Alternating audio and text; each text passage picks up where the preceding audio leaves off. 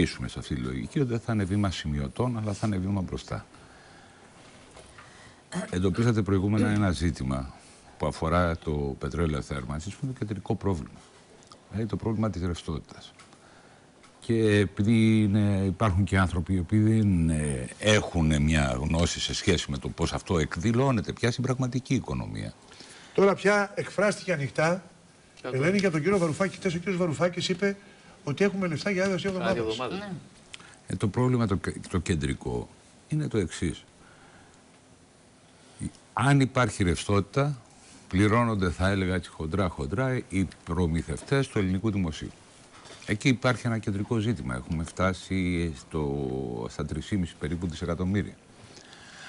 Αυτό μοχλεύει, αν θέλετε, αυτή την πληρωμή μέσα στην αγορά. Και το δεύτερο πρόβλημα αφορά τη δυνατότητα που έχουν οι τράπεζες ώστε να εκπληρώνουν αν θέλετε, μια, ένα από τα βασικά της καθή, τους καθήκοντα που αφορά τον ε, δανεισμό σε κεφάλαια κίνησης, σε κεφάλαια δράσης κτλ. Ο Γιώργος θεωρώ ότι έχει δίκιο σε ένα Αυτό είναι πράγμα. το κεντρικό ζήτημα. Δηλαδή, Η διαχείριση αυτού η του προβλήματος. διαχείριση του προβλήματος, ακριβώς.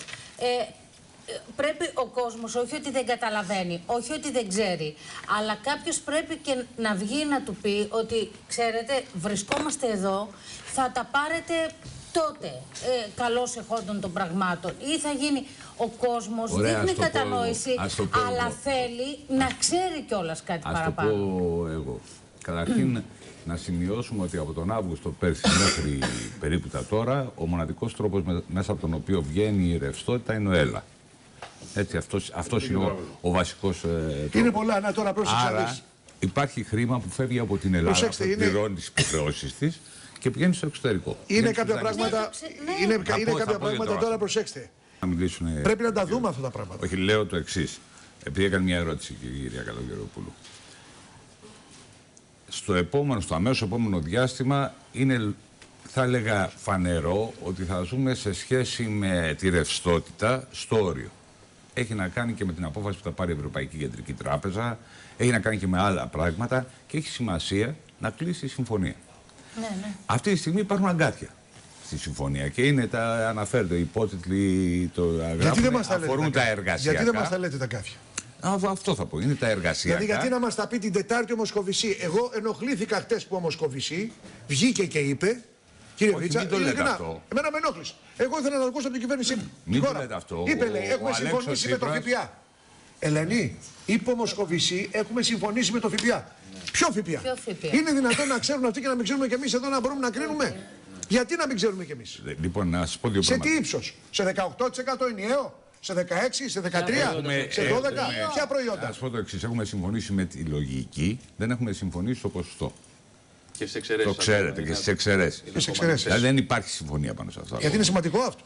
Αλλά σας λέω Γιατί είναι τώρα, τα οριζόντια. αγκάθια, Δηλαδή, αν τα οποία- οριζόντια πούμε ότι τα τιμολόγια δέκο Ναι, ναι, ναι, Φως, νερό, ναι. τηλέφωνο. Αυτό με τις ΔΕΚΟ επίσης έχει... τα αυξηθεί, αγκάθια τότε είναι θα κατά πληρώσουν κύριο όλοι λόγο παραπάνω και τα- φτωχοί. Το ασφαλιστικό και τα εργασιακά. Κατά κύριο λόγο. Μάλιστα. Έτσι. Και υπάρχει και ένα επιπλέον αγκάθι που αφορά, αφορά πέραν του εργασιακού. Εγώ το βάζω δίπλα ε, που αφορά, αφορούν το δημόσιο. Θέλω να πάω στον κύριο Γεγέρογλου. πού- Αυτά τα τρία Και πού θα είναι. κλείσει το Θα πρώτο μπούμε, ναι, θα Ε, μπούμε τώρα. Από εκεί Εσείς- και πέρα η συμφωνία θα πρέπει να προβλέπει τον τρόπο με τον οποίο θα συζητηθεί η αναδιάρθρωση του χρέους και βεβαίως η συμφωνία πρέπει να προβλέπει το πρωτογενές πλεόνασμα. Γιατί εδώ δεν μιλάμε για λίγα λεφτά, εδώ μιλάμε για από 3 Και δισεκατομμύρια. για να έχουμε πάνω. πρωτογενές Από πλεόνασμα το σε μια πρωτογενές χώρα που δεν έχει. Εξαρτάται όλο το υπόλοιπο πακέτο. Μα Ελένη μου, σε μια χώρα που δεν έχει ανάπτυξη, το πρωτογενές πλεόνασμα προ- προ- όχι προ- πάντα. ε, Όχι προέρχεται πάντα. από τους φόρους.